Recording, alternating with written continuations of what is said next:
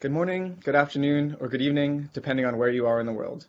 On behalf of USAID, Feed the Future, and AgriLinks, I welcome you to our webinar, Grain Market, a pull for seed businesses across bean corridors in Tanzania. I am Michael Seltz with AgriLinks. Before we begin, let me orient you to the BlueJeans platform. On the right side of your screen, you'll see most of your controls. First, please use the chat to introduce yourself and network with colleagues from around the world. To ask questions, please use the Q&A button on the bottom right. Please indicate who your question is for. Feel free to upvote questions you want answered. You can ask questions throughout the webinar, and our Q&A will be at the end of the webinar. If the presentation is too small on your screen, you can use the slide bar at the bottom of your window to adjust the view. Lastly, we are recording this webinar and we'll email you the post-event resources as soon as they are available. You can also find the resources at agrilinks.org when they are ready. Thank you for your attention. I will now pass it to USAID's Rob Bertram. Thank you, Michael, and greetings, everyone.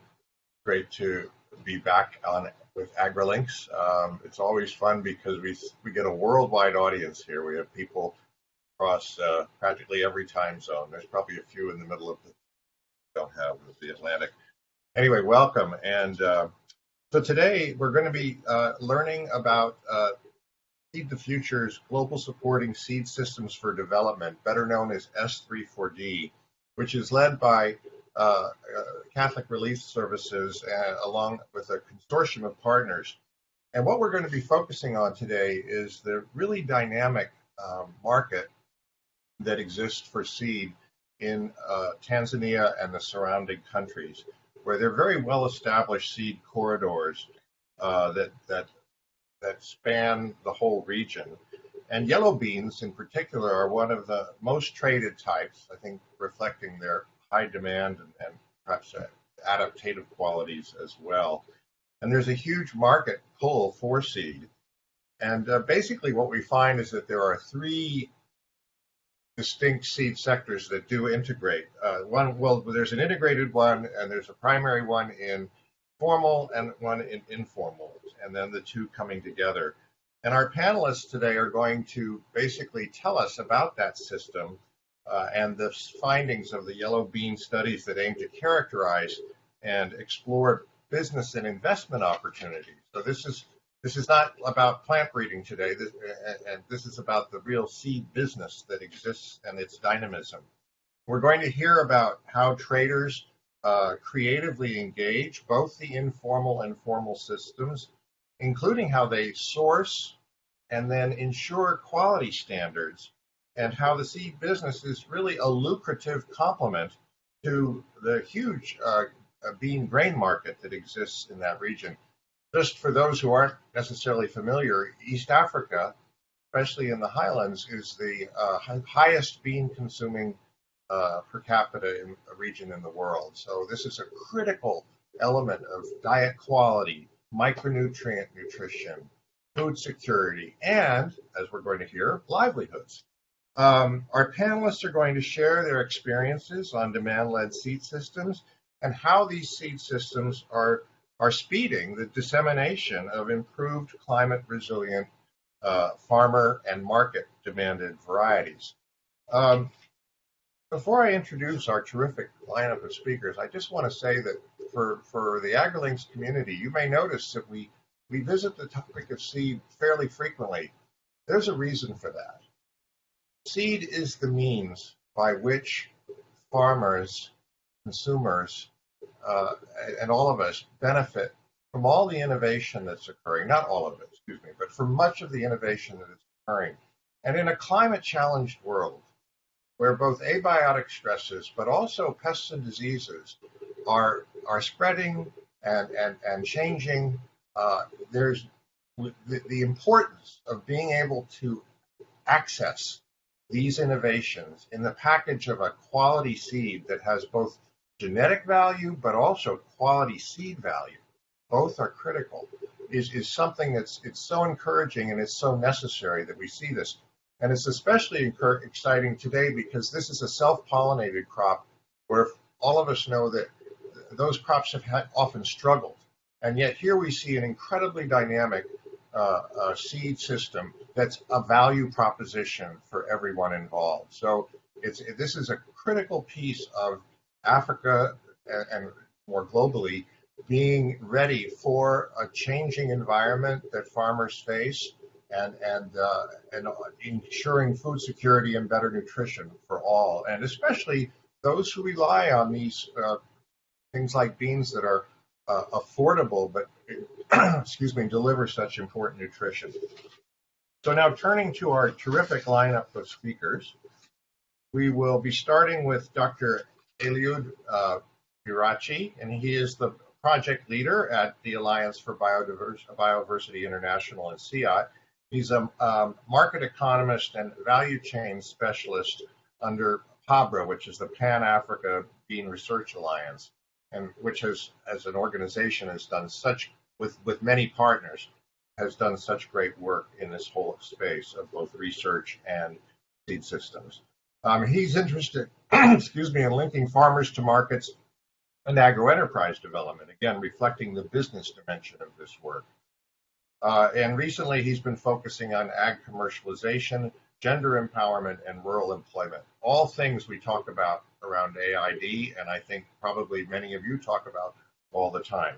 Then we'll hear from Louise Sperling. I think we might say Louise is a household name in this whole space. Uh, she has been involved for decades and leading in particularly in the issues of um, feed systems under stress, but also I would say more informal and very dynamic seed systems generally.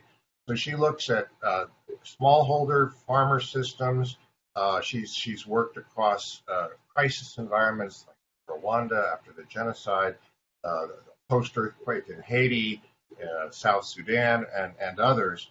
And um, she uh, is is a hugely published author and um, has uh, been seedsystems.org is where you can read more about the kinds of involved the advice and policy insights that she shares with the global community. Then we'll hear from a private sector colleague, Ms. Gaudencia Bakilile, and she's the general manager of the G2L Company Limited. And her work spans uh, grade trading, including common beans, rice, and maize, uh, so, you know, the maize is there, but so are two self-pollinated crops. It's really exciting. And they work with uh, uh, over 3,000 uh, smallholder farmers, half of whom are, almost are women, on a, a contract farming basis in order to source their seed. And they support supply a quality declared seed and fertilizer, but also, and this is a great piece of this, this this commercialization of the, the system agricultural advisory services, product aggregation, loans, management, including uh, smallholders and linking them to financial institutions for input loans, and, and, and, they provide training. So, what a fantastic set of, of, of contributions to bring to this whole ecosystem. Then we'll hear from one of our NARS partners, Dr. Godfried Mkamilo, and he's the Director General of the Tanzania Agricultural Research Institute, TARI.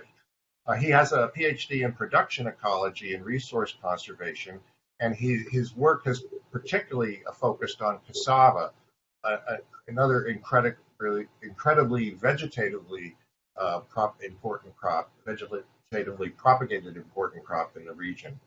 Um, and he also uh, provides insights to policymakers and um, and and uh, has involved been involved in many international collabor- collaborations, including, for example, with uh, the CGIAR centers. Uh, then uh, Jeff Ehlers um, uh, from the Bill and Melinda Gates Foundation, where he's the program officer leading their work on legumes. And uh, Jeff had worked for many years at IITA in Africa before pursuing a research career at the University of California Riverside. And um, he has, I think, been a, a real force for moving legumes to the fore, something that Feed the Future has prioritized since its inceptions because of their critical importance for nutrition, for profits, incomes, for uh, environmental uh, sustainability in terms of uh, improving the soil and so forth. And then finally, to wind us up, we'll hear from the head of PABRA, Jean-Claude Rubyogo, and he is the leader of, of the, the bean program uh, and director of PABRA at the um, International Center for Tropical Agriculture and the Alliance of Biodiversity International. And he's been involved in this work for, for many decades. It's been a real pleasure to have this uh, partnership for us at USAID with Jean-Claude and the, the, rest of his colleagues at, at PABRA. And I think he has built PABRA along with all the partners, into a shining example of how global public goods research can integrate into the, the, the real systems that make a difference in the daily lives, which is what it's all about. So, thanks. And I'm going to turn it now to our first speaker, Dr. Eliud Birachi.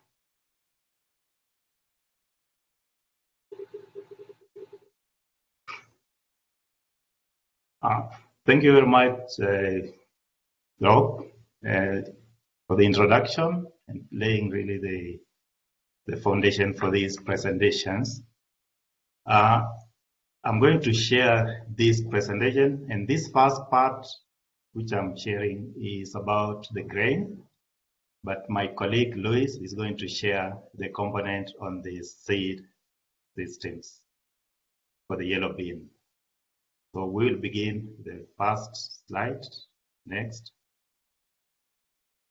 So as an overview, we have three key items that we'll be looking at. We have the introduction and then share the resource and then the lessons and implications that we learn from this study. Now the map on your right indicates the bean corridors that PABRA has focused on over the last few years, and these are in total nine of them.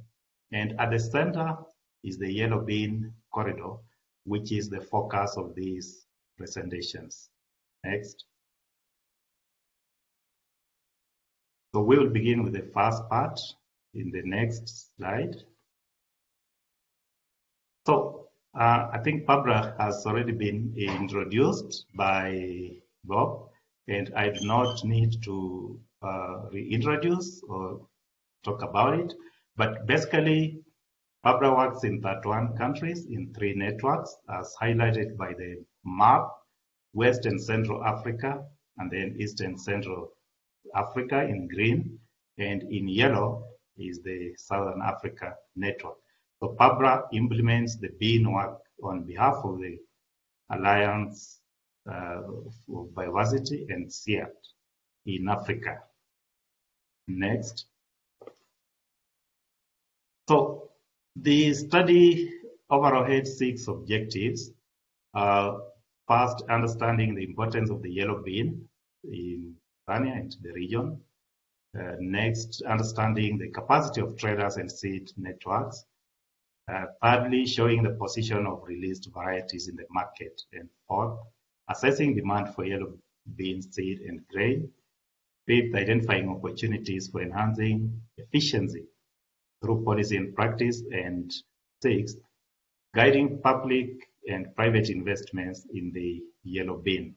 So in this part of the presentation, I'm going to focus on the uh, objectives as they relate to this grain component, and my colleague Louise will be presenting on the seed component next. So bean and Tanzania are quite synonymous. It is the largest bean producer in Africa and seventh globally. 1.2 million tons are produced uh, on average per year, and this contributes immensely to nutrition, of that's food security and nutrition, but also to the incomes. So on the income side, 40% of these beans are traded, of which 25% reach the regional markets as well as exports. So being really uh, very important in the country. Next. So we are focusing on the yellow bean. So why yellow bean? Now from this chart, currently yellow bean stands at number two in the bean types or market classes in Tanzania. And we are seeing up to 340 metric tons, uh, up to more than 340,000 hectares that are planted under this bean, and it occupies, uh, which is almost 32% of the total bean area in the country.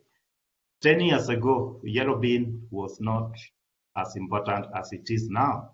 And there are reasons that we are going to look into for this fast rising uh, bean type and in the market. Next. So why did we focus on yellow bean? Now, first of all, yellow bean is the, one of the most traded bean types in the in Tanzania, but then it has limited information on its production and trade. So that means that the potential implications of this trade on seed supplies and other possible investments remain unclear. So this motivated our focus on this yellow bean uh, that we are sharing here. Next. So as our background, we focused on a survey of 340 traders, both grain and informal seed. And these were from 12 regions of the country. And these regions are indicated in the map. So some of these regions, the, many of these regions are major production areas uh, and consumption areas of the yellow bean corridor. So that is our main focus uh, for the study. So more or less covering the whole country of Tanzania, especially for this yellow bean. And this was a partnership led by, uh, led by TARI and PABRA. And we are happy for the support under the S34D and Feed the Future that enabled this work. Next. So let's see about some of the results that we found out in this study in the next slide. So from the 340 grain traders that we surveyed, they were found to be trading or handling about 40 or more than 40,000 metric tons of grain valued at 27 million uh, US dollars. So and this trade, of course, also includes what went to the export or regional markets. And we found about 17,000 metric tons valued at about 12 million trading in the region as well. The map on the right shows the major production areas or production hubs. These are in the deeper colors. And then, of course, flowing from these production areas or hubs into the major consumption hubs.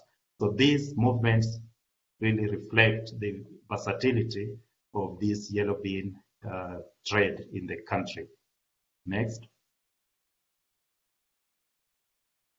So we have major production areas as shown on the map, but from this chart here, Kigoma and Kagera come out as top production areas for yellow beans in the country, but there are others such as Rukwa, Njombe, and so on. And the major consumption areas or market areas being Dar es Salaam, Shinyanga, and other major urban areas.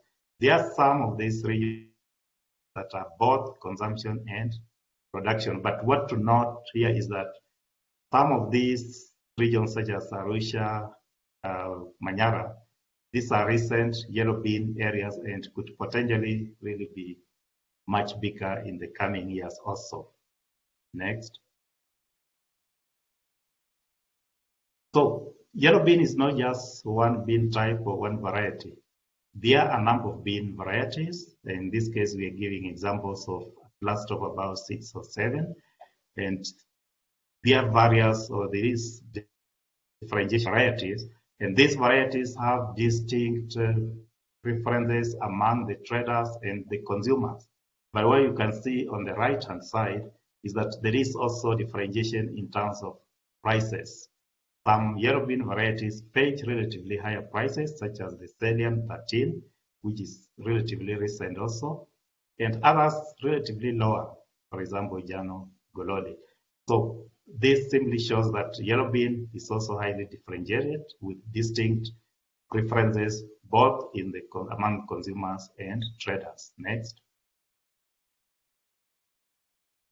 Now, we also see very strong uh, gender dimension in the bean trade, and women are systematically trading in uh, retail, while men are dominating the export and the aggregate or aggregation level businesses. But it's not only the type of business, rather also the, the, the value of the trade is almost uh, double among the men compared to uh, the women. And this, of course, has implications of how we support also the women to enhance their value in this, on their trade value in these uh, businesses. Next. So what are some of the lessons and implications that we get from this study? These are shown in the next slide. So first of all, we see that there is high demand and rapid growth in the yellow bean over the last 10 years. But the major driver for this being the taste, palatability, petulance, fast cooking, among other traits that are really highly, highly preferred by consumers, and therefore traders respond to this. There is differentiated grain market, and there is preference for single varieties. There is a premium price, of course, if the prices are single, and some of those markets also fetch higher prices. We also see that the market pool for yellow bean varieties is still quite strong. But then the traders also still face some constraints, and some of these include inadequate supply to meet the demands. We also see that the grain market lays a good foundation for investments by private and public sector actors, whether it's formal or informal. But to be able to take advantage of these opportunities for investment, uh, we need to overcome some constraints, and some of these are listed here. For example, unreliable supply of grain is still a challenge. Inadequate seed and poor linkages to research is still a challenge that needs to be worked on. Poor quality of bean is also uh, to be attended to, as well as the unpredictable market levies, storage and credit challenges. So these need some attention in order, in order to enhance some of these investments. Next. So finally, what we can see for the yellow bean is that there is large volumes of trade of the trade of trade in this bean, but then these large volumes need also to translate into business and investment opportunities in order to upgrade seed supplies especially by enterprises, for growth and gender inclusion. To be able to achieve these uh, positive outcomes, there is need to invest in several areas. One of the areas is provision of variety information to potential users, which was a challenge as shown by the results. Another area is this need to increase technical capacities of the different value chain actors to handle uh, bean seeds and as well as grain. There is also need to increase collaborations and linkages in the value chain as a whole. And finally here, there is need to provide sufficient policy support for within and cross-border trade. So these are potential investment areas that can enhance this yellow bean corridor. So finally, what we see here is that yellow bean corridor success is not just about grain movement as we are focused on grain, but that is not just about it. It is also about informal seed movement. It is about supporting informal seed availability, access, and quality enhancement. However, on these issues of the seed, we are going to see in the, my colleague Louise is going to make a presentation or about the seed or the seed issues and the seed uh, results that relate to this yellow bean in the next presentation that follows here. Thank you very much for your attention.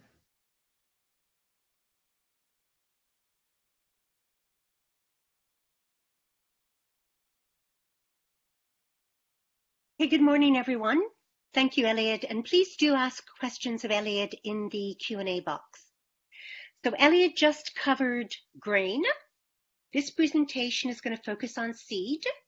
And of course, seed is one of the main drivers of the yellow bean chain in Tanzania. Next. Okay, some clarifications on terminology. Um, as you know, smallholder farmers use two types of seed systems at least. There's the formal system, and that's the yellow bars at top. That's modern, modern variety certified seed. And this might come from government or from commercial companies or from relief. Then there's the informal system, also known as farmer system, traditional system, local system, and that's the brown cylinders at the bottom. And that's seed that comes from farmers' own harvests, social networks, or local markets.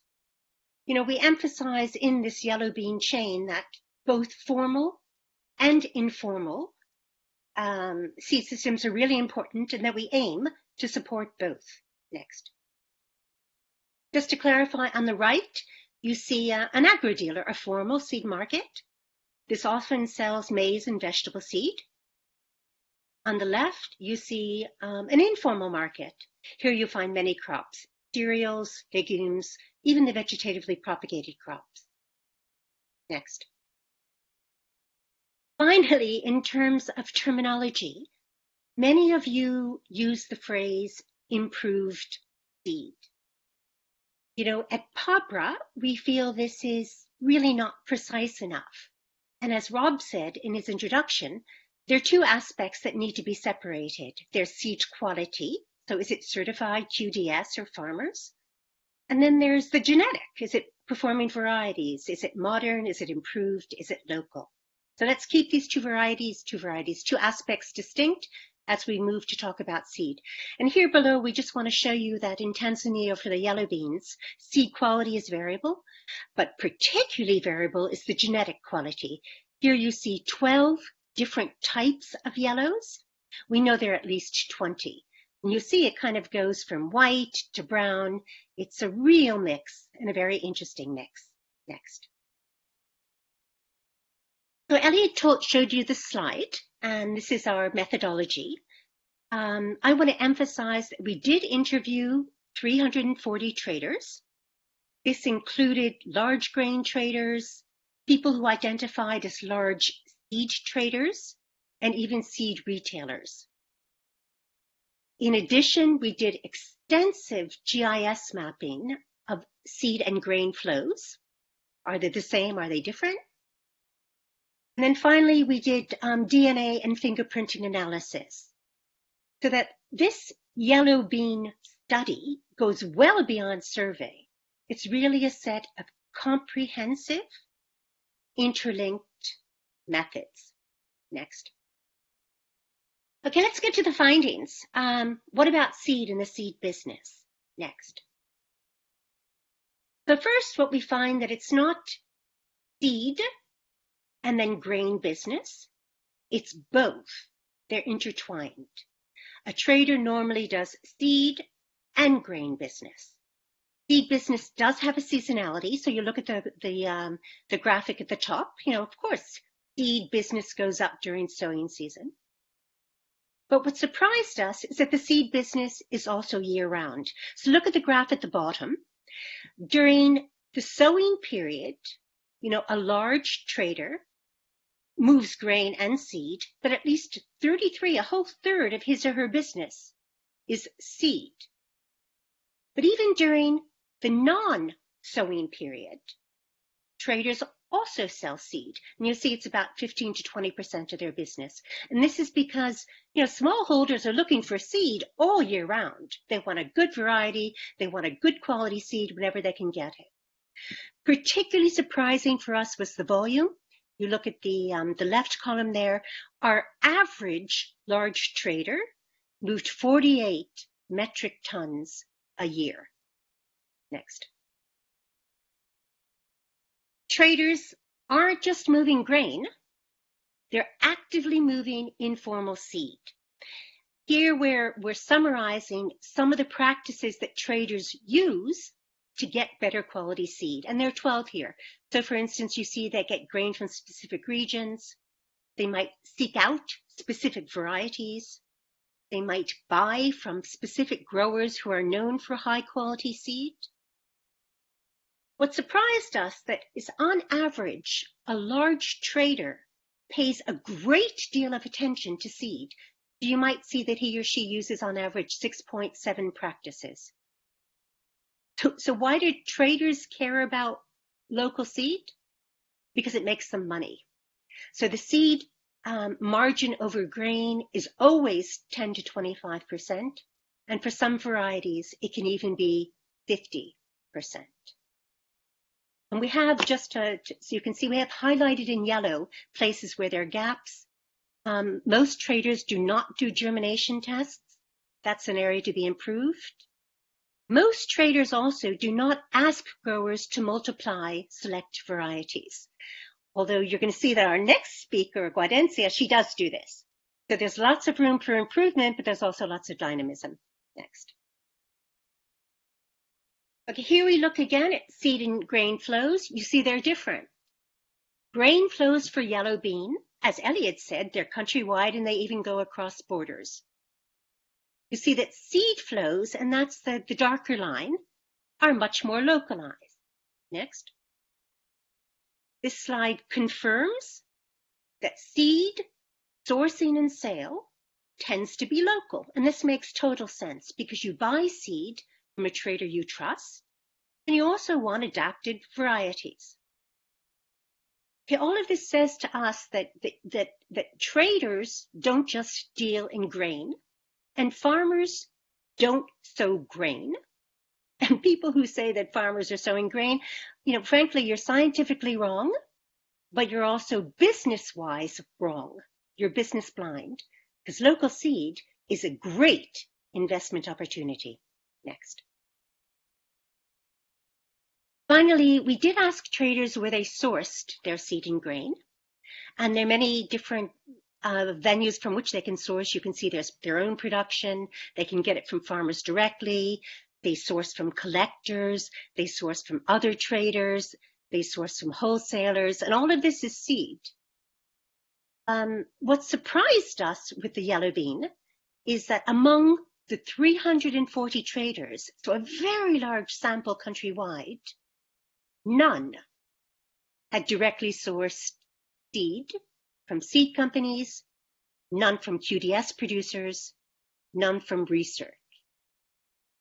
We'll get to this later, but so we have a situation here. We have a very dynamic yellow bean trade.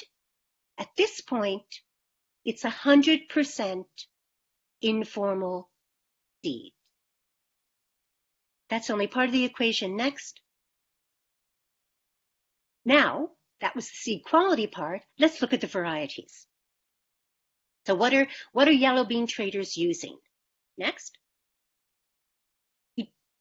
Thank you, thanks. So we did extensive work on the genetic composition of these yellow bean varieties. And I particularly want to signal the excellent work of, of Claire Mukankusi and her team who did this work. You know, basically what they did, um, they established a reference library all the TARI varieties, what is the genetic composition, and they then compared the TARI varieties with those samples that we had collected from traders. Um, we collected 501 samples, very large, and then these were analyzed not only in Tanzania, but also in Uganda and also in Sweden to get a really good sense of the genetic profile. Next. Okay, so here we are, a big surprise. These are the trader samples. The varieties are grouped, as you see, into six groups. Look at the types. So that's the column towards the right. Some are landraces, but most are modern. In fact, 61%, over 61% of the trader samples were modern varieties. Equally surprising, look at the release dates. You see Uyole 16, that was released in 216, sorry, 2016. Look at Selian and Unjano Golole, These were released in 2018, just one year before our study took place. So yes, we have a situation where it's 100% informal seed, but it's informal seed that is dynamically diffusing modern varieties and quickly. The modern varieties at scale, modern varieties quickly. This is what variety turnover is about. Next. So how did modern varieties enter the informal system? Now remember, we don't have direct evidence, we didn't have direct links, but TARI and other processes have been going on dynamically, and let's share some of them with you. So, so TARI, and the director is here, very welcome, sir. TARI, between 2011 and 2020, released 15 different bean varieties. Very, very dynamic. TOSCI, the, um, the seed agency, took seriously scaling up. So you see that in 2013, um, for QDS and certified, it was 2.2 metric tons. After that, every year, it was 300 to 500 metric tons. And then, of course, there are many on-farm demonstrations, there are field days. So this is a dynamic research and seed system. And now we have to connect it better to the informal system. Next. So moving forward, next, you know, we have a great case um, with the yellow beans. We're at scale, it's fast, it seems to be working well, but what can we do better? And so we'd like to signal three different areas for action. One on information, second on strategic injection of new varieties, and third on seed quality, how to enhance the seed quality. And these are quite distinct thrusts of action. Next. So for information, oh, thanks very much. For information, you know, basically with traders, we have to actively link traders to info on new varieties. It has to be a two-way information system. What about the new varieties? How are they different? What are the specific sources of quality seed? We have to ensure that traders are actually represented on commodity platforms, on seed grain platforms, not just the formal sector, but also the informal trading sector. And also, you know, finally, it makes sense to give traders real tools to popularize and give feedback on varieties. I mean, traders should be involved in research. They can be involved in PVS trials. I know Gates and Bioversity are doing some really interesting work on a thousand farms. Traders can and should influence research. Okay, next, going to injection new varieties. Thanks very much. So, you know, for injection new varieties, we need an active, not a passive strategy. You know, it's not just about varieties working their way somehow into the local system. You know, we have to map points of intervention to make it go faster and wider and more varieties. And actually, I, for one, would be fascinated very willing to work with a team who says, what does it mean? What are the actions to get new varieties, not certified seed? How do we get new varieties into the informal system? And then, of course, the third area of action, next, please, is on seed quality. Um, here we want to distinguish two things. We do have to leverage areas for bringing certified seed we're working with special producers and bringing this into the informal system. So one thing to do is, of course, to, to scale up formal seed and get it into the informal system. Equally, however, we really have to think about improving quality, seed quality of the informal system itself. You know, we should be working with farmers and traders to keep varieties separate. We should be working to promote better storage with farmers and traders, and maybe even to, you know, improving informal system seed selection techniques. Oops. Um, again, we're looking at an agenda here. It looks ambitious, but our feeling is that all these actions can be accomplished in the next one to four years. Next. So what, finally, we have a great situation with the yellow bean in Tanzania. Um, where are we going now? Well, for our immediate next steps, um, we'd like to expand in Tanzania to other bean types, you know, to the whatever it is, the reds, the models, just other bean types. But equally, we want to try the yellow bean approach with other crops. Cowpea is a good entry point. there might be other good entry points. Beyond beans, though, beyond beans and other crops, I think we have to put much more emphasis, emphasis on learning about the seed flow processes. We know there's an informal sector, we know there's a formal sector, but what do we know about their real interactions? You know, how can we spur these interactions? How can we make them more efficient? And then what we should do is move this learning to other parts of Africa and even beyond. Next. Very frankly here, with the yellow bean, we seem to have a real win situation. And at this point with the seed, there's been very little or even no outside investment surprising, amazing, um, something to reflect on next. Finally, there are so many people who helped drive this study, and you know, particularly want to thank Tari um, and PABRA, and there are many researchers on the ground. But beyond that, there are 340 traders who we interviewed who are making this system work. You know, I wish we could list all of their names.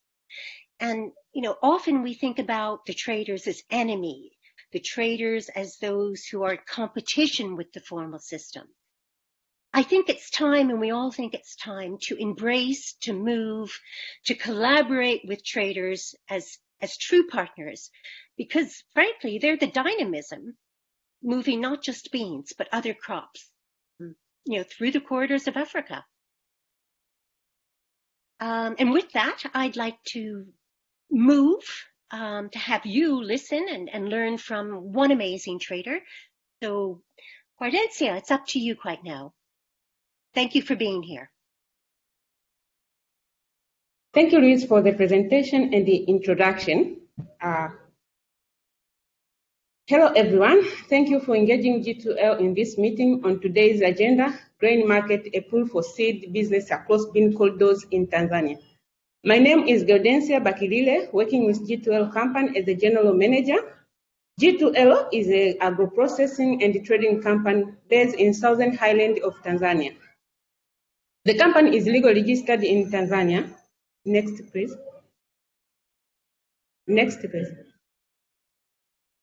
G2L products. Uh, our company trade maize, flour, rice, soybean, common beans, uh, and the rice. The market for our product is within Tanzania, around East Africa region, and Congo DRC. But as for today, I'm going to talk more on common beans, which take about 25% of uh, the company business. The company works close uh, with smallholder farmers of Njombe, Ruvuma, Iringa, and Mbeya region. Uh, the company, uh, the company deals with two varieties, which are yellow bean, Njano Uyole, and Lady Kidney, Uyole 96, with its 6,000 metric ton capacity as shown in the picture below. Next, please. In this map shows the stakeholders who involved in common beans in, the, in who value chain uh, from access of input production to the market. There is high potential for bean production in this area. On green uh, cycle is where G2L located at Makambako. A green star is where Tari Uyole located, and the small red cycle is seed pro, uh, producer located. Seed production is supported by Tari Uyole and other development partners like uh, Beula Seed Company, smallholder farmers of Clinton Foundation and Nafaka, who produce QDS. Next, please. Our mode of work. Uh, G2L with smallholder farmers research institution like uh, Tari Uyole, seed company like Beula Seed Company, QDS producer like uh, smallholder farmers of Clinton Foundation and Nafaka, banks, agro dealers, and the local government authority. In this, in this model, G2, uh, G2L, with support from Tari Uyole, we provide capacity building to smallholder farmer, demonstration plot, and conduct field days whereby at least 7,485 smallholder farmers received training, of, them 41% are women. The company engaged into contract farming with smallholder farmers through their groups and link smallholder farmers with banks to access input loan and at least 45% access input loan since 2019 from the trained farmers groups. The company links smallholder farmer with seed producer. The company also is a market of the farm produce. G2L also pays smallholder farmers through the bank's account to recover their loan. On smallholder, uh, smallholder activities in this model, they sign buying selling contract with G2L. They access input loan from banks with support from G2L. They submit their input demand and work close with G2L to access seed and the fertilizer from the input supplier. They produce and sell common beans to G2L at the quality and quantity agreed on the contract and at the market price. Bank activity in this model, they confirm the name of smallholder farmers and their groups with G2L. They do bank procedure to provide loan to smallholder farmer. They pay seed companies after G2L confirm that the farmer have already received the input. They pro provide other bank service to smallholder farmers, like opening bank agent, agents called the Wakala at their village to access the bank service. Uh, on research institution side, uh, seed company, QDS producer, and agro deal activity in this model, uh, I will start with the research company. Uh, research institution uh, is in collaboration with G2L, they conduct capacity building, assist variety development, and seed certified. They prepare and deliver inputs to smallholder farmers as requested on pro forma invoice, and they submit the invoice to the bank for payment arrangement.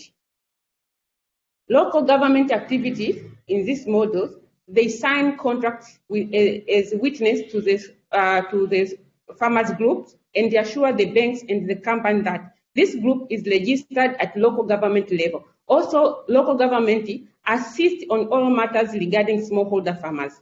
Even though in this model, uh, there are still some farmers who use grain as a seed. Next, please. Challenges. Uh, we still face a lack of coordinated multi-stakeholder platform. Currently, you'll find that clients place their order of different variety during the harvest time and not during the plantation. Also, inadequacy of quantity of early generation seed. The climate change still is the challenge for us, especially this year we experienced excess rain, which leads to low harvesting of, of bean, common beans.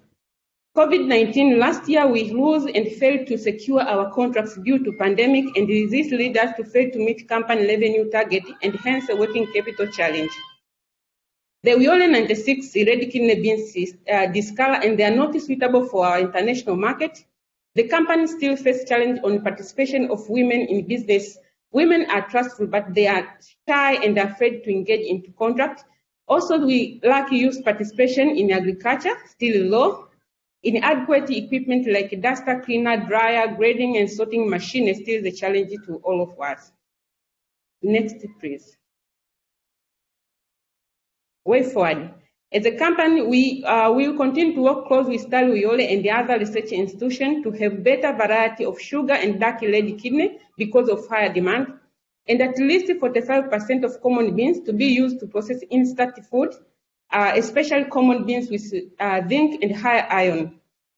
Also to strengthen multi-stakeholder platform to support the coordination of key actors to continue linking smallholder farmers with financial institutions for easy access of financing uh, input. Also increase the participation of women and youth in common beans production, assist uh, and lastly to assist the legislation of farmer groups and reach new potential areas for common beans production. Next. Thank you, uh, Asante Sana. Let me welcome Dr. Geoffrey Mkamilo. All right, thank you, thank you so much. Uh, once again, my name is Geoffrey Mkamilo, Director General of Tanzania Agricultural Research Institute based in Dodoma, Tanzania. Next. Uh, previous speakers have already given detailed introduction about beans, but probably I should uh, a bit. And I would like to introduce that uh, Tanzania Agricultural Research Institute has a total of 17 centers, and we are dealing over 45 commodities, including being. Now, being in Tanzania uh, is, is actually supported by three centers, namely Tari Uyole, which is based in the southern highland of Tanzania, and then the Tari Maruku Bukoba uh, in the lake and the western zone, and also Tari Selian uh, in the northern zone. Next.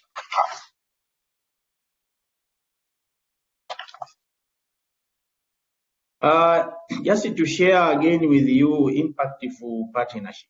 Basically, uh, Tari, we believe on partnership. We cannot work alone. We have to work with the national, regional, international uh, institutions and organizations, including uh, development partners. And in being over 35 years, basically we have work, been working together with the Alliance of Biodiversity International and the CIAT through Pan-African Bean Research.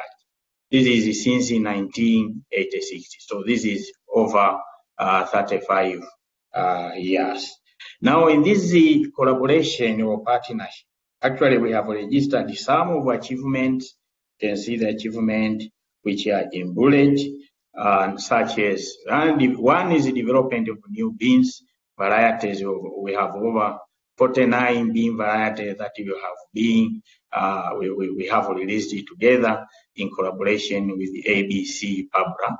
But again, we are testing being corridor approach, which is increasingly generating interest from government investment in beans and increasing upgrading bean value chain. But again, uh, if we talk of the seed companies producing bean seed, now in 2015, we just uh, recorded one company, but now uh, in 2021, there are uh, 13 companies that you are producing bean seed. So this is becoming very, very interesting. But again, if you look at the seed production, uh, we, we take 2015 as a baseline. Uh, basically, we see uh, only 542.7 metric tons of seeds were produced. So these are seed certified seeds and, and uh, quality declared seeds and also other classes of seeds. Now in 2020, we registered 1,932.4 metric tons. What it means here that being uh, seed production uh, becomes of interest and uh, many companies really uh, make, investment in this. But again, being yield, if you talk of being yield, um, was less than uh, one uh, metric tons per hectare. That is in 2012, uh, but now uh, we have increased uh, productivity up to 1.3 metric tons. This is according to the information in 2019. But we also have benefited from capacity building uh, from these initiatives. The National Agricultural, uh, Agricultural Research System, basically, we have benefited from long-term training uh, in terms of masters and PhD, and also some tailor tailor-made programs and uh, other value chain actors also have, have benefited from the training and we acknowledge also for this support and also partnership. Next. Now, what is the implication of this yellow bean? So our my, my colleagues have already given details about the, the yellow bean, but uh, uh, let, let me just share with you some of the implications of yellow bean. Uh, one is raise the profile of beans in the country from subsistence to cash crop and attracted different investment in the value chain. Uh, what it means here, initially bean was considered as a subsistence crop, but now being is regarded a cash crop and many uh, companies actually making a lot of profit from this. Two is a government investment in beans actually in collaboration with the other partners, in collaboration, as I have said, with ABC, PABRA, and again, some donors like IFAD, BMGF, and so on. uh, we see a lot of real investment uh, going on because of importance of the, the crop at the moment.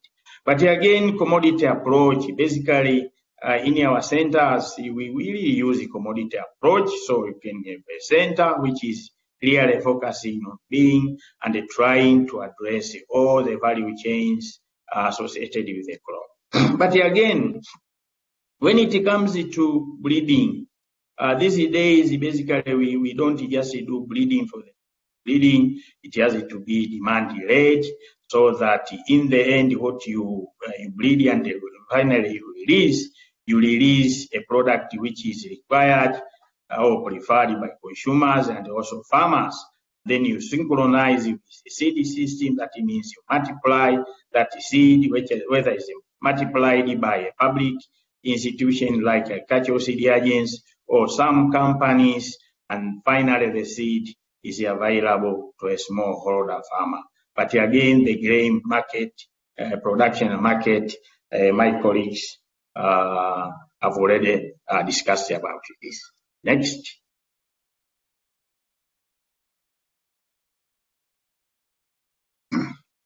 So the way forward here, thirdly, will catalyze mainstreaming good lessons uh, of this commodity. But again, um, as also previous speakers have already uh, discussed about the PABRA model, which is really an example of partnership uh, between uh, NAS, in this case Italy, and also the CG. And it is now interesting to find out that the centers uh, now are becoming in one CG in order to really address problems affecting uh, our, our, farmers. So basically, this is really an exemplar. But I also want to point out that uh, uh, this is the one CG and also some regional organization like ACRO, some regional organization like ASARECA. Basically, we really uh, very, very important that we really work together in order to uh, address these issues together, especially in being and also some other uh, commodities. That is open also to new uh, ideas and ready to work partners uh, to continue to address all the challenges that is slowing down the agricultural sector growth. Uh, we also want to extend our sincere appreciation to all donors.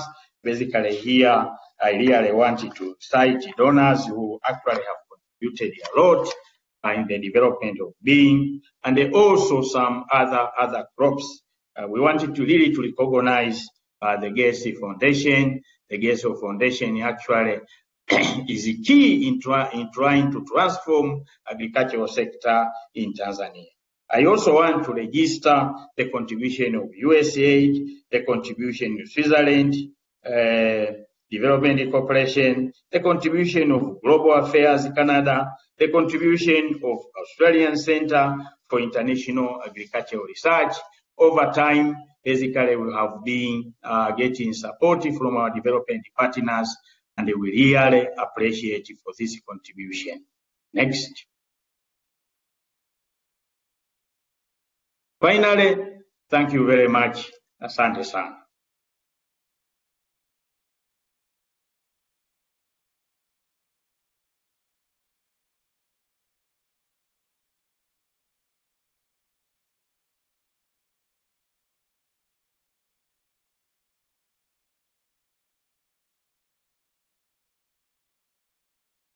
Hello, everyone. Oh.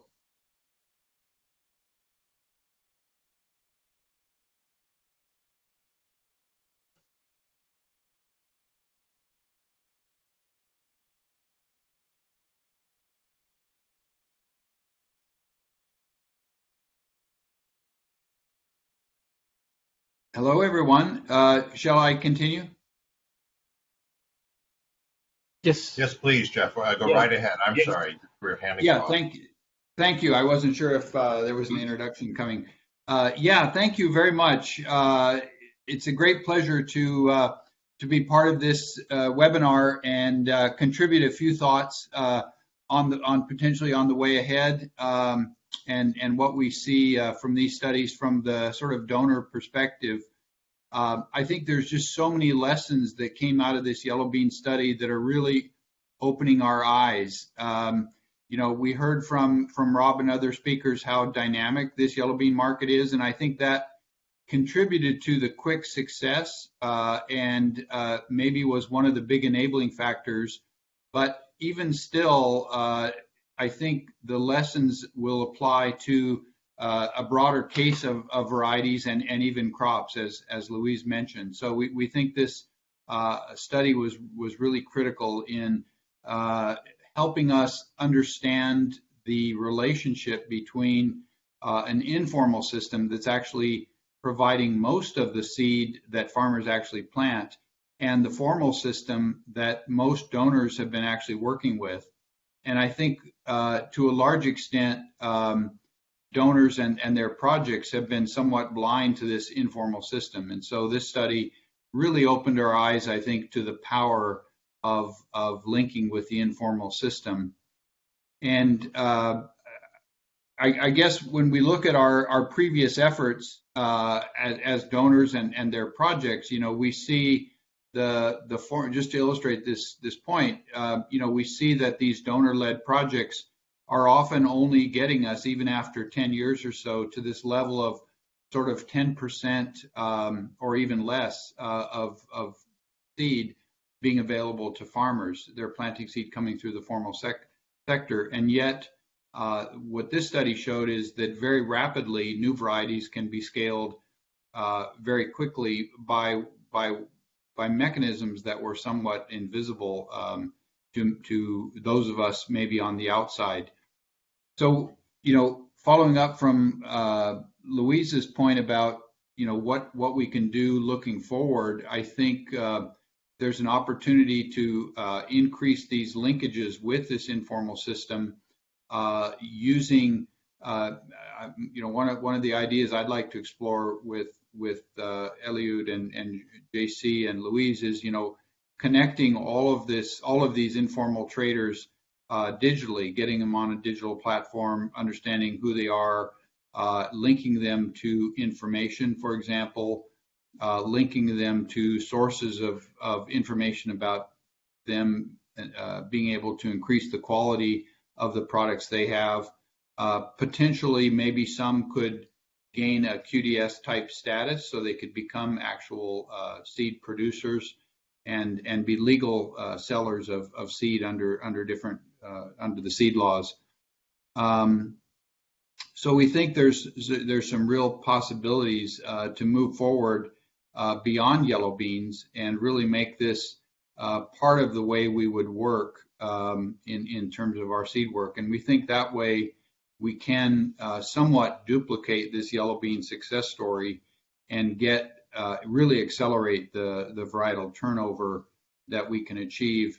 And, and we feel this is, uh, you know, a rapid varietal turnover is going to be a primary way that we help farmers uh, adapt to a, a changing climate. Um, the, the you know, we still are in a situation with many crops in most uh, African uh, geographies that, you know, the varieties are, are 20 or more years old. And we know the climate has shifted since then, and it will continue to shift. And so we think the best possible uh, outcome would be for is, is to have a dynamic seed system wherein varieties are uh, or farmers are actually circulating in and circulating out varieties you know, at a five or 10 year interval and taking advantage of, of varieties that are bred in the current environment.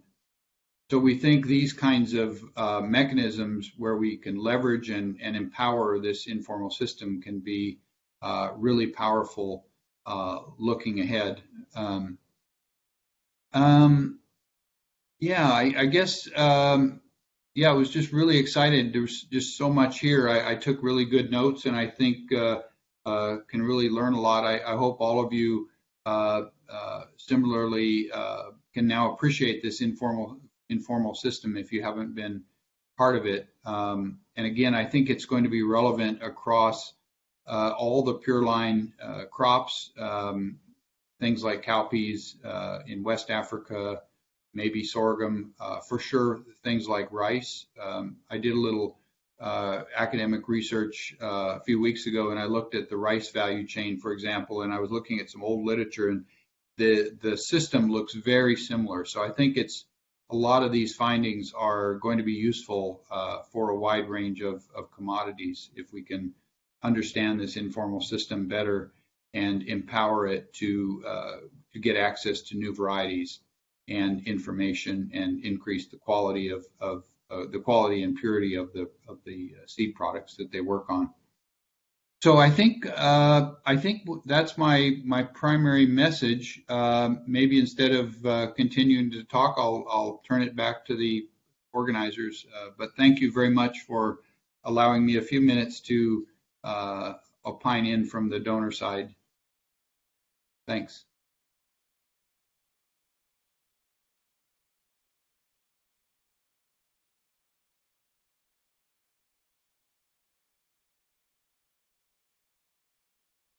Thank you so much, everyone. I'm going to now pass it off to Rob Bertram to lead us through a Q&A for about 20 minutes. And uh, we'll be answering some of your questions. Thank you so much.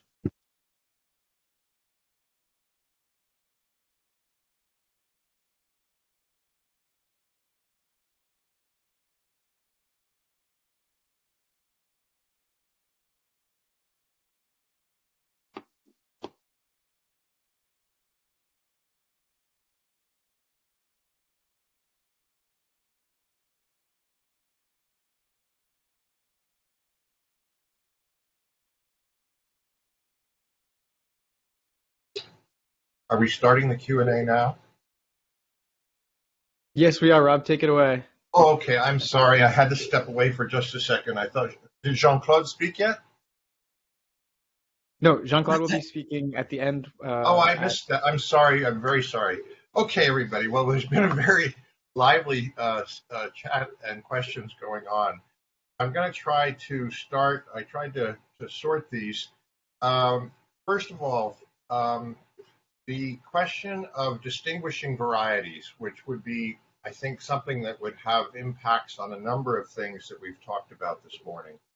Um, can I pass that one to, um, let's see, maybe either uh, might want to comment on that, and maybe um, uh, Godfrey would like to comment on that. Can I turn it to each of you? You, you first, Godfrey, maybe?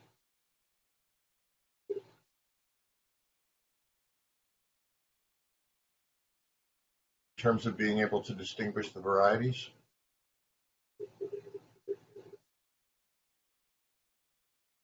Uh, Gaudensia, why don't you go ahead? I think uh, maybe Godfrey can come in later. So, can you explain more the uh, question because I didn't understand? Uh, there was a question um, about uh, from Dick Tinsley about how much people can tell different varieties of yellow beans apart and and and and at, at all stages, like how how distinctive are they in terms of just looking at them, the seed or the or the plants?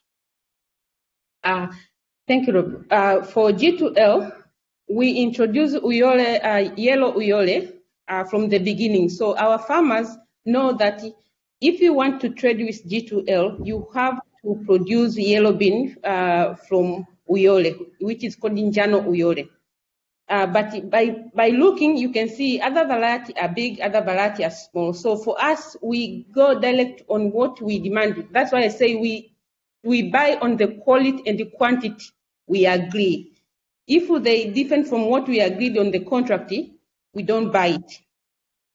Thank you. Okay, thank you. Maybe Louise, you might want to comment on that issue as well, this issue of being able to distinguish, which would seem to be an issue right across the system.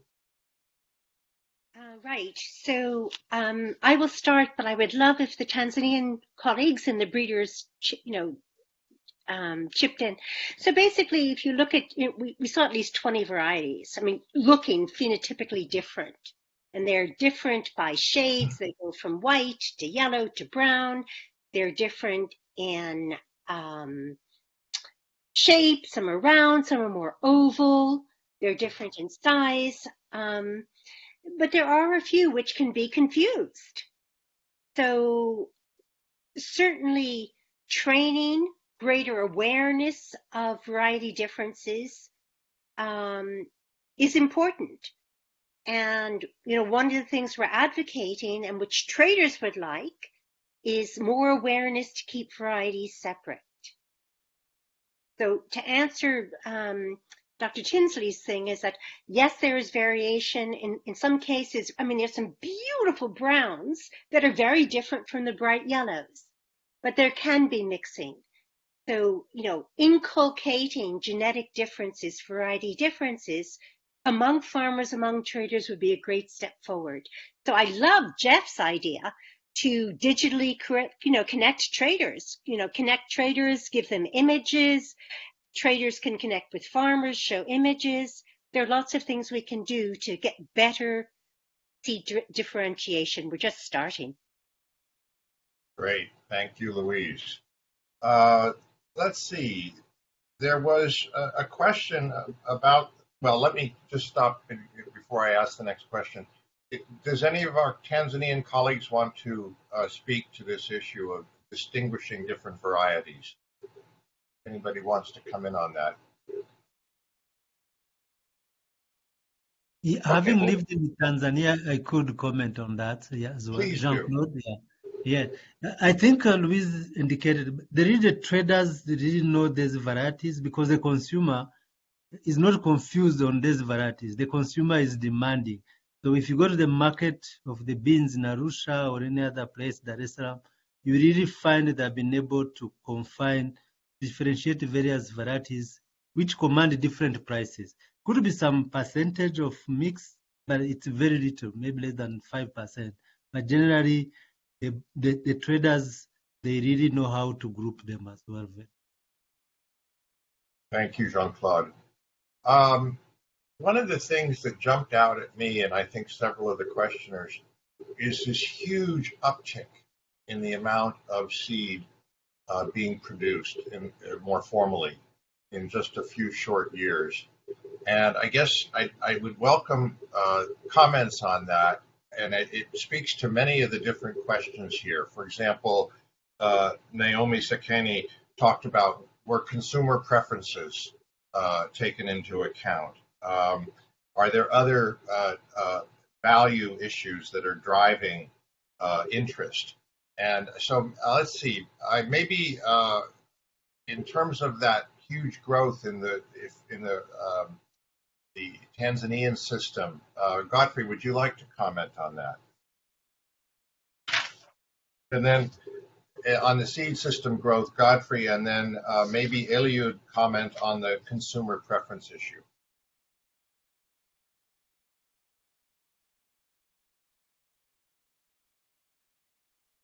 All right. Uh, Here okay. you go. Thank you. Yeah, thank you. Uh, thank you, Rob. So on the question on the consumer preference uh, issue, I think uh, I've seen a number of items on that. But generally, yellow beans are highly preferred. They have certain traits uh, in terms of taste, palatability. There's even uh, quicker cooking, relatively faster cooking, and above all, they have lower flatulence. Flatulence in terms of, you know, not, you know, the, stomach remains comfortable after eating. So this really drive uh, uh, the, the consumer preferences compared to very many other uh, varieties. So overall, yellow beans uh, get more preferred compared to the other bean types. And you can see it in the different markets. Uh, even among the yellow beans, of course, there are specific preferences within.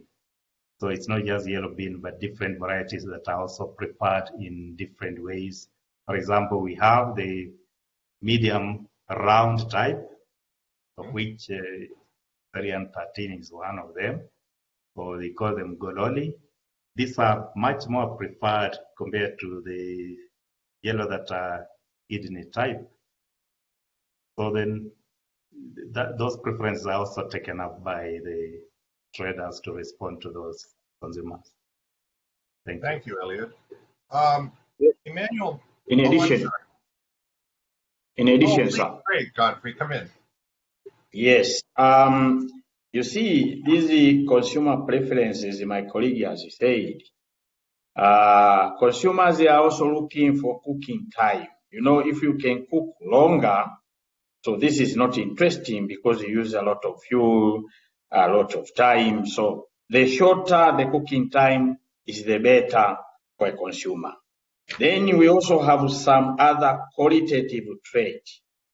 Uh, qualitative trait, for example, color. Color is very, very important to consumers. So these days, when you talk, uh, when they see uh, something yellow, uh, is actually associated with also some other other nutrition uh, trait, iron, high iron. They talk of high, uh, high zinc and so on. But again, taste is also important. You know, some varieties are tasted compared to, to other varieties as well. But again, the seed size. You know, when the seed is very, very small, uh, some consumers are not interested. So they are the, the size also size matter to a consumer. And uh, even the, the breeding program, you have really to start what traits are actually preferred by consumer. Now, in making process, then you have to do it uh, taking into account this important trait. Thank you. Thank you very much. And maybe while we have you, Godfrey, before you go, I want to add on seed. There's a, there's a question asked on seed, Rob. Would you do like to give a background how the seed jumped up? the one I was just going to come back to Godfrey on that. Uh, Godfrey, Yeah, could you say a bit more about what happened in Tanzania that led to this huge growth in the amount of seed being produced that I think Louise told us about?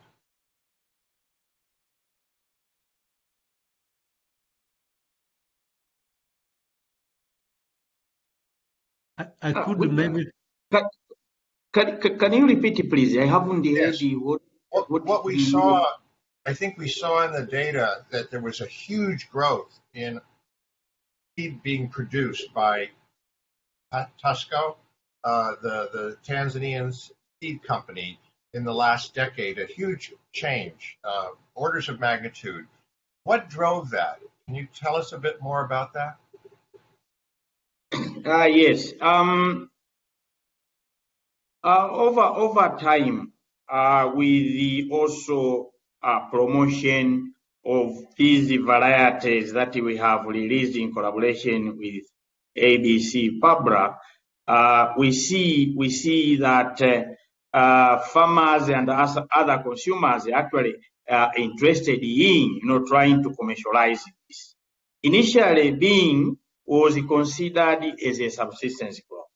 Not these days. Basically, being is really a commercial crop. So you can even see the trend over time. You, you see even number of companies that are producing seed tended to increase. If you compare, for example, 2015 uh, to date, you talk of 13 companies. Is it because now the crop uh, has been commercialized and has become uh, an income, income earning crop compared to the past? Thank you, Godfrey. Um, another question that, that was put on is uh, the the issue of the uh, shortages of early generation seed, and um, um, who might like to speak to that? Uh, perhaps uh, you, Jean Claude, if I if I can pull you in here. right. Yeah. Yes. that's- that- thanks, uh, thanks, Rob. Maybe coming back to to that, between 2015, we got a support from uh, from BMGF and and also and also Agra under SSTP, and we carried out because we had really got gotten good varieties which are really demanded by the market through our breeding program with the TARI, and then that's several demonstrations which involved the traders in the demonstrations involving the, the seed company which were reluctant initially but these demonstrations uh, of multi-stakeholder people coming together the traders the seed comp- the potential seed company ASA TARI pulled several demands of these varieties. And you can see the growth going up because really that's through SSTP and BMGF, we had that uh, grant, which allow us to cover several areas of Tanzania with this uh, demand pool, and then which brought in the seed demand as well. So on coming back on the early generation seed, it's still a challenge because the demand increased as well. It's not, they used to have a small demand. ASA could not sell their seed initially, uh, even five tons. But as the demand increases, also that's pulled the the side of the, the early generation seed, which I think for now, TARI alone may not be able to be in position to respond to that alone. So we need to explore possibility of these private enterprise which are coming around now 13. How can they be able to also get uh, that either license or get a breeder seed and continue with the foundation seed and then to support to also in addition to complement what TARI and us are doing as well. Otherwise, the main is in the public sector will not to be a good way. And TARI has started because we had uh, several testing of innovations with the private sector to do that. We have now like two or three who are doing foundation seed when they get a breeder seed from TARI and they continue. So it's something which is really developing and we see vibrant industry very soon. Yeah. That's encouraging. I'd like to. In addition, in addition. Please, briefly, just because there's a, a, couple other issues I want to put on the table. In, in addition, JC has talked about increase in demand. You see, when the demand increases, uh, this one has also to go hand in hand with the supply. Uh, for example, production of breeder, pre-basic and the basics. So this the capacity TARI has, you know, we use rain-fed to do all these multiplication. Now, if we are to produce seed throughout the year, then we have to think of irrigation system because we know that uh, what we produce, there is a demand somewhere. We also need uh, capacity in terms of storage facilities so that you produce and you can store, and when the, the, there is a demand somewhere from the city company, you can easily sell. So the capacity also has to increase uh, the physical capacity in terms of irrigation storage facilities in order to cope with increased demand. Thank you. Thank you. Thank you, Godfrey. So for uh, Gaudensia again, Gaudensia, there was a question asking about uh, the fact that uh, companies tend to uh, do you, well, first of all, for you, do you only buy quality declared or certified seed? Uh, and then also, there was a question from Emmanuel Magno about why are, are traders and companies not sourcing uh, material from the research uh, side, which I think we've heard some suggestions that th- those research products are, of course, getting out but he asked Dr. Magno asked, do they not know what they're missing?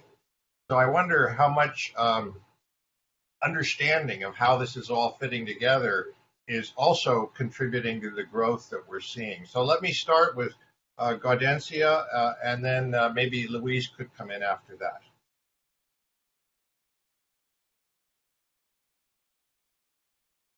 Uh, our company uh, prefer to buy our smallholder farmer to produce uh, common beans with uh, certified seed and some from QDS. Uh, this is because of uh, the results, because what we had the experience uh, before when we started this business, we was buying common beans from different smallholder farmer, whether he buy uh, he use uh, improved seed or not. But he, we come to realize that we have different variety of yellow bean. So to minimize or to reduce that, we trained our farmer that if you want to work with G2L, you have to follow what we want because it's not a G2L want because the market is uh, because of the market. So uh, our farmer now, uh, before the plantation, they ask G2L, what variety do you want us plant for this season? So be, uh, by looking for to our market, we suggest to our farmer that you have to use certain kind of uh, seeds, and you can source those seeds from certain, uh, uh, maybe from Tari Uyole or from the Ula Seed Company, and few from QDS. We are not preferred much QDS because of ch some challenges which we get, and we have already uh, reported to Tari Uyole.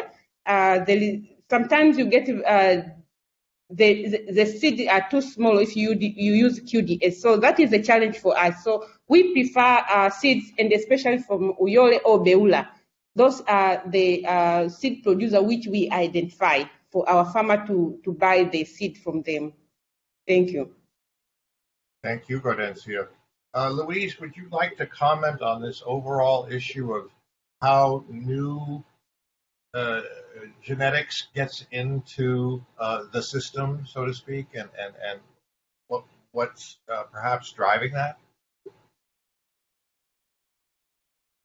You know, um, and I'd like others to speak, so pipe up, colleagues. I know there are people also on the chat who were involved in this study, so I would welcome you to to contribute. You know, at this point, we have a situation where we know some of the processes and not others, right? Let's be honest. And I think we should put this as a strategic research question.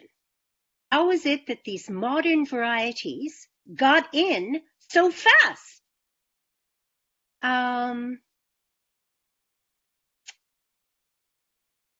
JC and our, our colleagues, Director General, they invite traders sometimes to station. You know, this is anecdotal. This would not give the modern varieties at scale countrywide. So rather than answer the question, I'd like to put it on a research agenda, to be honest.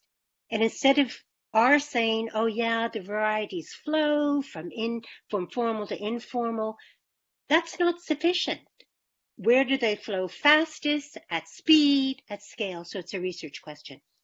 Thank you. And, Eliud, uh, you commented earlier about some of the traits that have really made these beans so attractive to people.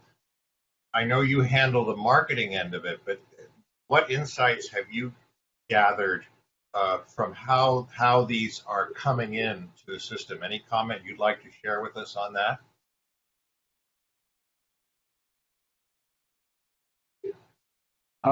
Thank you, Bob, for the that question. So from, from the market side, we have the information from the consumers all the way to the traders.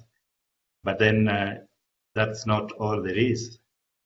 That kind of information needs to reach back all the way to producers and further to the seed supply system and even to the breeders. So by working closely with the different, uh, especially with the breeders and the seed, uh, uh, those in the seed sector, we're able to support this this kind of information from the consumers and get it as part of the feedback, which goes into now programs such as demand-led breeding. These ones are now being grounded on uh, what the consumers and the buyers or users uh, prefer in these varieties. So this is really changing the way breeding is taking place, the way even the seed uh, sector is really working out in such a way that uh, the response time is getting shortened and the products that they come up with are more closer or pay close attention to what is needed. And if we're looking at the the the the, the, the products, the products that are being generated, so the, these products are now reflecting what is needed in the market. For example, now you can talk about the yellow bean as a product or maybe the red mottled. So previously, these are all lumped together. Now it's getting more and more specific, and I think uh, right. it's likely to have better outcomes. Uh, That's the main theme. That's the main theme. I have to jump in because I have to jump off, and I know we're done with, we're out of our time, but I hope we can continue. We still have 100 people with us. And Jean Claude, uh, before I pass it to you, I just want to uh, uh, ask you to speak to some of the issues around regulation of this market and and the this uh, synergies or trade-offs between these different sectors. There's several questions like that. I'm sorry to have to run early, but I will uh, I will uh, turn it over to Jean-Claude now. And thank you all for your attendance today. It was great, uh, great discussion, great presentations. Thank you ever so much, Rob. Thanks, you, Rob. Thanks, thanks for your time and thanks for facilitating this interesting session. Yeah, maybe um, I can start by the issue he Rob just raised before he left. Yeah, so what is the legal aspect of this informal trade uh, of seed? I think for now, the legal framework in Tanzania and many other countries does not recognize the farmer, the traders as a source of seed, the grain trader as a source of seed. It's mainly, maybe in Tanzania it goes up to QDS. But um, if you look at it, the, though the law does not recognize it as a part of the legal seed, but I, I think again is also silent to stop because the reality is the seed is there and is being used. So there's no really any impediment which stops traders because work with the farmers uh, unless it goes again to be packed as a seed that's where the challenge lies. But when they they do at the local level the traders are able to sell the seed to farmers because they have arrangement uh, the law does not condemn it but at the same time does not really go to the level of practicality of stopping that to happen. Maybe because also the, the aspect of, uh, yeah. So maybe we should be thinking, how do we link the two? Because if you look at the study, it really shows that if you want to move, it's not just a formal loan, it's integration of these two systems uh, to bring in new variety, to accelerate these varieties and get in the hands of the farmers. So the combination of the two but we don't have we don't have a legal framework which allows that to happen. I think that's an area we need to work to see how that can be legally really in place. Otherwise, for now, there is no seed law which authorizes the grain the, the, traders to sell the seed which comes from originally comes from the grain. Yeah, so that's what I can say now. Okay, so maybe go to the concluding remarks. Uh, just uh, I would like uh, to thank everybody, really, Rob, for, for, for this facilitation. The yellow bean study shows us that the impact of market-led breeding, because I think Eliud talked about it, it's these varieties, uh, they really have been gone through a process of really engaging the consumer, engaging the market. It's not just any variety which has been released, is that there's really inter interaction between breeding and the, and the consumer. So that's a program have started for the last 20 years uh, as a PABRA. And we had the deliberate objective to align the breeding to emerging market of beans and expand in order to expand the trade and consumption and ultimately incentivize the, the farmer because as Gaudensia was indicating, you could see that yes, farmers, uh, if they do a good produce a quality, they're able to pay on, on price they agree. So again, the yellow beans again show that the crop research can be harnessed to accelerate trade and facilitate growth for small and medium enterprises, the way we saw, and deliver food and nutrition security to millions of farmers. And I think again, trade that shows how uh, this combination of breeding, seed systems, and trade can can help as well. It also shows that there is a tangible benefit in working with informal. It's not something we can really uh, ignore. It's very important. It is very efficient. So how do we combine with with the formal? That's really the potential, and that's where we can really do a good work to get these varieties out. So and then meet the consumer and the farmers' demand and address the climate change as Jeff indicated, because really this can help to accelerate the varieties. One of the reasons why these varieties also preferred is not just the consumer alone. Farmers also like them. Some are short duration, 60, 65 days. So that means if you plant them in a two to three, less than two months and a half, you're able to harvest.